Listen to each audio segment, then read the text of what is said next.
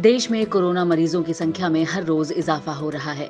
शनिवार सुबह 9 बजे तक देश में कोरोना मरीजों की संख्या बढ़कर सात हो गई, जबकि दो सौ उनतालीस लोगों की जान जा चुकी है। अभी तक 642 लोग इस महामारी से ठीक भी हुए हैं। वहीं दुनिया भर में कोरोना पॉजिटिव केसों की संख्या बढ़कर 16 लाख निन्यानवे हज़ार के पार चली गई है, जबकि एक लाख से ज़्यादा लोगों की जान जा चुकी है। हालाँकि पूरी दुनिया में तीन लाख छिहत्तर हज़ार से ज़्यादा लोग अब तक ठीक भी हुए हैं।